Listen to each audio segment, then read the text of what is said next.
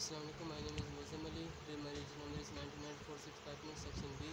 Today we horticulture practical on the how to propagate the plants from the softwood cuttings.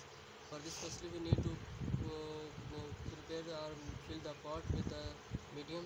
For this we take a medium like this and filled it with the we need pot and label it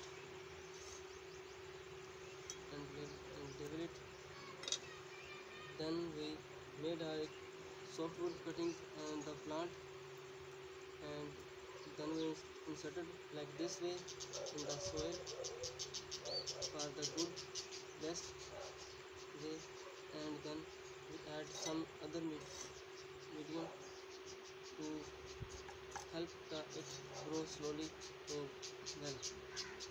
And after this after this we it will geared lightly for the better germination and better growth of these soft cuttings.